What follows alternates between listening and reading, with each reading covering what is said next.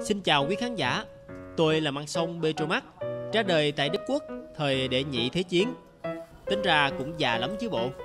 Bởi vậy tôi không nhớ rõ là đã qua bao đời chủ và trôi dạt về Việt Nam bằng cách nào. Chỉ biết sau thời Hoàng Kim tỏa sáng, tôi lâm bệnh và bị bỏ quên trong đống phế liệu mấy chục năm. Cũng may á, ông chủ này thương tình mua về chăm sóc.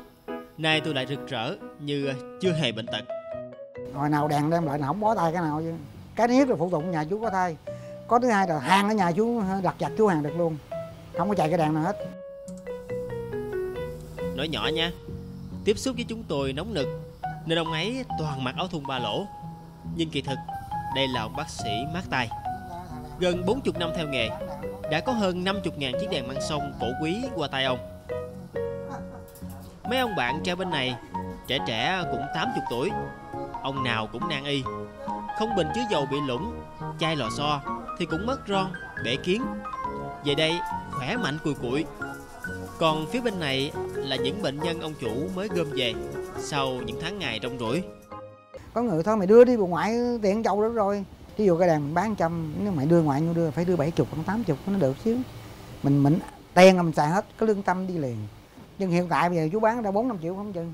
Có cái bán triệu ngoài không chừng không ước lượng được. Nếu mà là đồng tiền của chú chú không nghĩ cá nhân mình con xin cái gì chú cho. Đúng chỗ chú cho, vợ xin chú cho hết. Sắm sửa trong nhà, răng rắc cái 6 triệu đi. Mà 6 triệu đồng tiền bây giờ thì nó đúng hơi khó kiếm, nhưng đối với mình nó tương đối được, không đánh nổi không đánh nổi cực.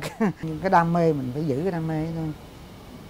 Chứ à, nói là mấy chục năm này cũng là trọn vẹn lắm mà chứ không phải đơn giản đâu.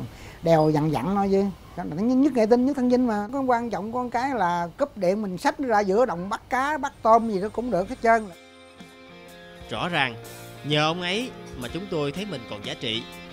Ông ấy hiểu, kính thì phải lau dầu, chứ rửa nước là bể liền. Ông ấy còn tích trữ cả một kho nội tạng để làm đồ thay thế.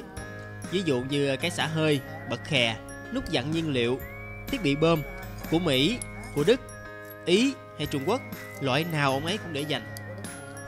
Về sống chung ở đây còn có hàng chục cỗ máy thời gian, bàn ủi con gà, đèn dầu, đèn bảo và cả chục cái lò xô sản xuất năm 1900 à, à 1900 hồi đó.